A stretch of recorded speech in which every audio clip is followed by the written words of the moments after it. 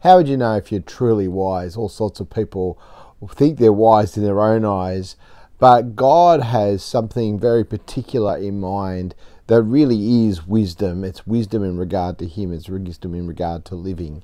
And the book of Proverbs eh, from the Old Testament is part of God's wisdom literature, and it really is about the wise life the wise life and how to live it. And we're going to be looking at that in our devotions for the next little while. We're just going to look at the introduction today uh, to the book in chapter 1, verse 1. There, there, there's several books of wisdom in the Bible. Uh, there's uh, books like Proverbs, which explain how it is that God has made the world and, and what right living, and there's kind of certain cause and effect built into creation. But it's more than that, it's also about your relationship with God in this world. I mean, God's created us in the beginning to to worship Him, to love Him, to follow Him, to relate to Him. Uh, and and he set us up as rulers of creation, have dominion and and, uh, and and take care of his world. And so here is the blending of the two together. Now it's not all so straightforward because there's other books of wisdom as well that kind of bring account of, so the Psalms. Uh, all sorts of uh, books of uh, you know songs about the, uh, the emotion of living in this world and the highs and the lows that sometimes the wicked do prosper, but in the end they will be judged. And and you know, there's times for, for glorying and being happy. And some of the psalms about weddings and all sorts of things about uh, repentance and of when uh, caught in sin, all, all kinds of reflections there. Ecclesiastes, talking about meaning and purpose in this. Well, can you find it with or without God? Uh, the, Song of Songs, it's a it's a strange book. It doesn't make a whole lot of sense because it's a love song, uh, and, and as a love song, it really is about this outpouring of emotion and the joy that God brings into relationship when it flourishes. And and so there's a really lots to learn in there, uh, even though it's a little bit all over the place. Uh, and so there's some of the books of wisdom. We're looking at the book of Proverbs, and we pick it up, chapter 1, in verse 1, where he speaks for just a few verses about what, what the point of the book is. Let's have a look. The Proverbs of Solomon, son of David, king of Israel, for learning wisdom and discipline, for understanding insightful sayings, for receiving prudent instruction in righteousness, justice, and integrity for teaching shrewdness to the inexperienced, knowledge and discerning to a young man.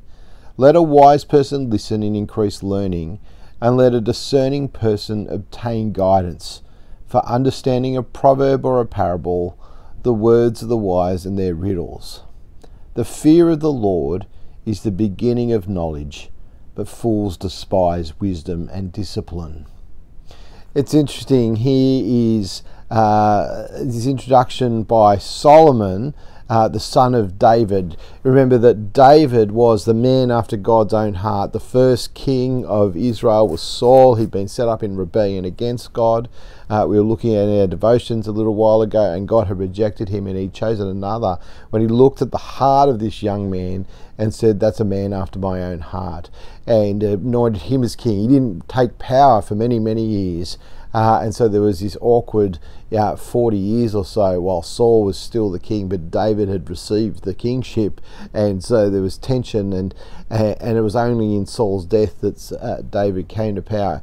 His son Solomon was a man of peace. Uh, his name means that as well. Uh, he's the man of peace. Uh, he didn't have to fight the fights that his dad David had to fight. He got to rule, and he when he was uh, given uh, the kingship, uh, God said, Well, ask me for one thing and it'll be yours. And he said, I want to be wise, to rule with wisdom. And and most of what he did was very, very wise and, and he was a man of great learning and people came from all over the world to hear his wisdom. And in one sense it was fulfilling the the promises that God made to Abraham to be a blessing to all the nations, as you see the Queen of Sheba and, and everyone else coming to listen to this King of Israel share his wisdom about life, about God, about everything. Now, he was led astray uh, because he, uh, he married lots of foreign women and adopted their gods, and so there's all sorts of chaos there. But that doesn't mean there's not lots to learn from him. God did grant him wisdom, and we're going to see that this book is all about that. And he says at the start, this is this whole book is my reflections on life, for learning, for discipline, uh, for being wise and getting ahead. But he says that the starting point of all wisdom is not where anyone in the world would find it or start, make it as their starting point. And that is you've got to sort things out with God. The truly wise life, the truly wise person, is someone who understands God. Verse 7 The fear of the Lord is the beginning of knowledge, but fools despise wisdom and discipline. You cannot live wisely if you do not understand God. And it's interesting that it talks about the fear of the Lord. It's something that's been very contentious throughout Christian history in talking about what is this fear of the Lord. Is it just a sort of, you know, heartfelt respect for someone who's wonderful? Yeah, and so it's it's just this awe that you have, and, and certainly that is there. But I think it's more than that in the scriptures. God is awesome. He is amazing. He is our creator. He is our judge. He does amazing things and he does terrifying things uh, throughout history, and there's lots to be afraid of. Now, we'll learn in the New Testament that perfect love drives our fear as God turns his wrath away through the Son. But it's right to start with the fear of the Lord. In the hymn Amazing Grace, we sing, God's grace first taught my heart to fear, and then my fears relieved. Right? It's actually God's kindness to teach you to, to fall down in front of Him, knowing that He holds your destiny in His hands, that He can save or destroy you, that He can do anything. He's He is uh, terrifyingly powerful. Uh, and but he's also wonderfully caring. That's why his grace teaches you to fear before it relieves your fears with the gospel of hope and righteousness. But the fear of the Lord is the beginning of knowledge, because if there is no fear of God before their eyes, before our eyes, uh, we won't care what He says. We won't care what He thinks about. We won't care about how His world works. We won't care about anything from Him.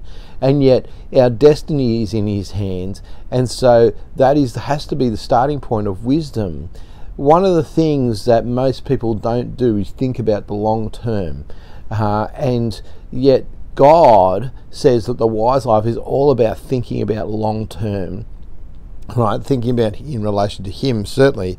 But if you know that the end is of and your whole point of life is that you'll either be with God or you won't be with God in eternity in heaven or in hell, then you'll want to, to, to organize your life around that.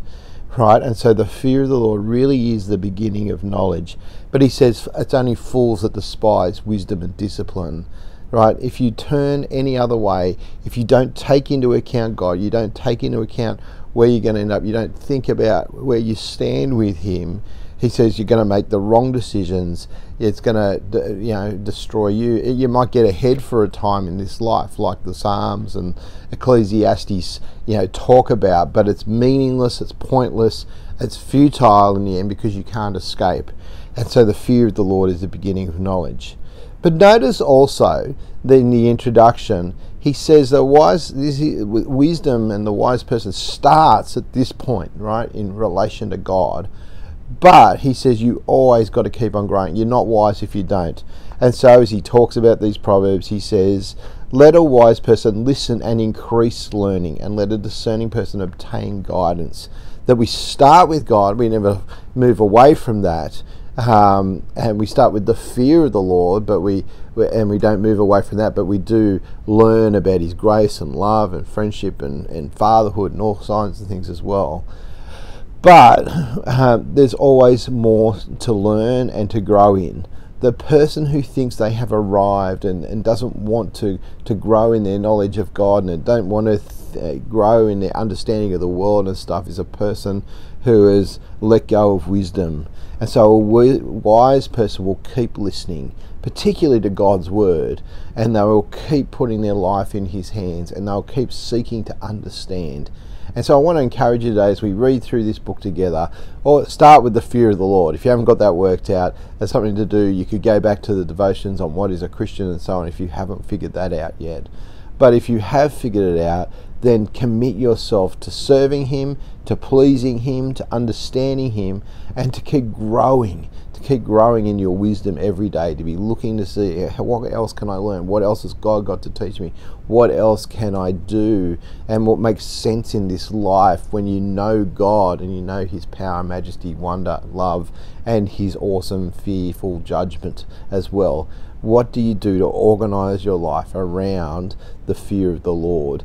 That is uh, something that's a continual question, and we've got to keep pushing ourselves in it. So why don't we pray now that God would help us uh, to to be wise, to fear Him, and to live His way, to keep growing and learning. Father, we want to thank you for the power of your word, and we thank you that you do give us the way of true wisdom. The world does not understand it, and they live in foolishness and rebellion against you. Father, help us not to be like that.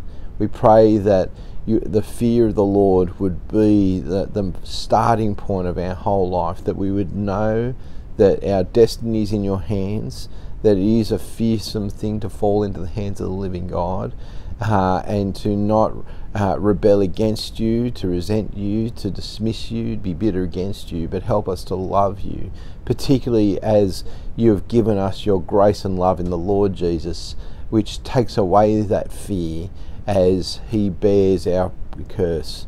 But Father, help us to always come back to this starting point, and uh, and we pray that our life will be filled with the awe of You, and we'll glorify You in everything. And we pray, please, that we would not give up on learning, that we'd want to push ourselves to keep growing and developing as Your children, as people in this world, as uh, people who know you, and we pray that would come out in all of our relationships. Please guide us in wisdom as we reflect on you and your ways and your purposes. And we pray that we would never forget the long view of what our eternal destiny is. And we pray that might shape us, as Paul calls us in the New Testament, help us to set our minds on things above, where Christ is seated in the heavenly realms. And we pray, please, that that would transform each and every one of our days. In Jesus' name we pray. Amen. Well, God bless everyone. Catch you for another devotion tomorrow.